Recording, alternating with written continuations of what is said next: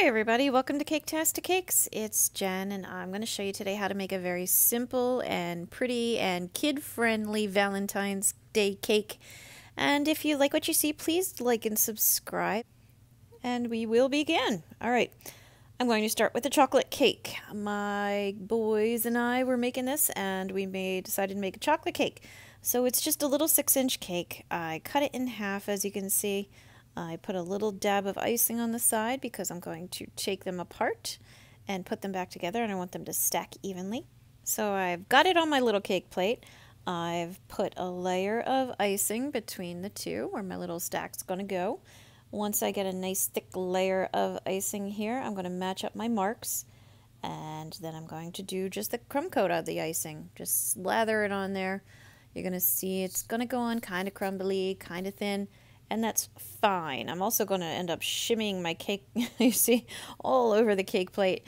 And when you get used to working on a turntable when you're icing your cakes and then you put it on a stationary one, then you have to like manually turn it, it's like, oh my goodness, what am I doing? I just, yeah, it's like so barbaric almost how I was doing it.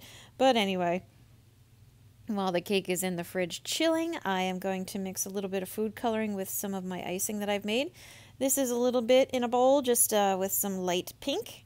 And then I'm going to mix some dark pink as well, kind of a hot pink color right here. Look at that, nice and hot pink. Kind of reminds me of My Little Pony or, you know, Valentine's Day, whatever. And I left the rest white, so I have a lot of white and a little bit of, of the dark pink and light pink. Now my cake is coming out of the fridge and I took some hot pink as you see and I'm just kind of blopping it here and there and that is the proper term for this technique. It is called blopping and I'm going to now blop on some of the light pink here and there and I'm ten I'm sticking with it more around the base of the cake.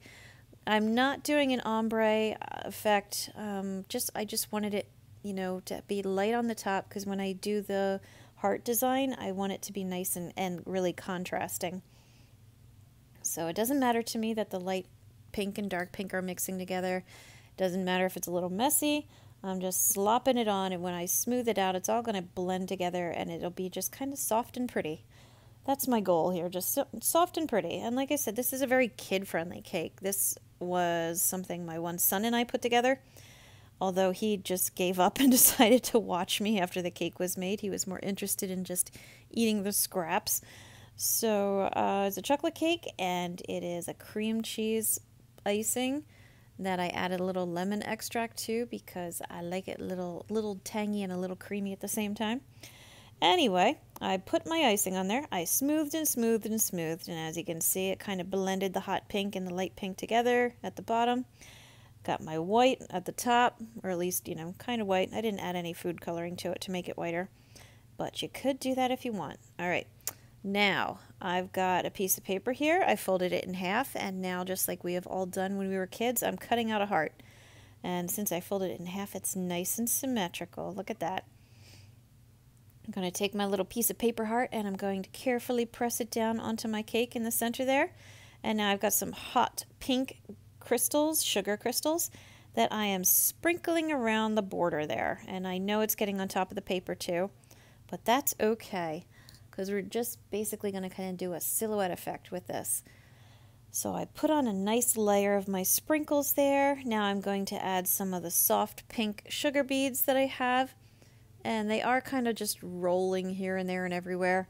So I'm trying to press them down and just carefully put them into place. I don't want them scattered all over. I do want them to stay more in the center, or I should say more around the outline. Like you can see, I, I pretty heavily peppered it now at this point. And in my final little touches here and there, I'm going to put some hot pink metallic candies. I am placing these by hand just because I only wanted a few of them and the other ones were just rolling all over the place. This cake is very cute, it's very simple, and I gotta say, if you have better skills than me, if you can make a nice, even, you know, cake with nice sharp edges and everything, it would look so much better. But it has such potential, so I wanted to share it anyway. And like I said, if you do this with your kids, it's easy, it's fun, you know, whatever. It'll—it's a pretty cake, it's nice. So I added some more of the sugar crystals just because I really wanted a sharp edge. I used a dry paintbrush to brush some of the sugar off because I didn't want to make too much of a mess trying to lift this. I realized my paper stuck a little bit to the icing, so I'm just very gently, very carefully brushing it down. If that doesn't work, stick it in the fridge for a few minutes so it can chill and then you can just press it down, so it's okay. Last step here, take a wet paper towel, wipe down your cake plate, get all the little extra icing off, and if you have any big blobs, you just can eat it because the cream cheese icing is delicious. And there you go. It's a nice, simple, pretty little Valentine's Day cake. So I hope you found my quick little video helpful. Please like and subscribe because again, I do find that helpful. I've got a lot of other videos out there, so please check those out. And as always, thank you for watching Caketastic Cakes.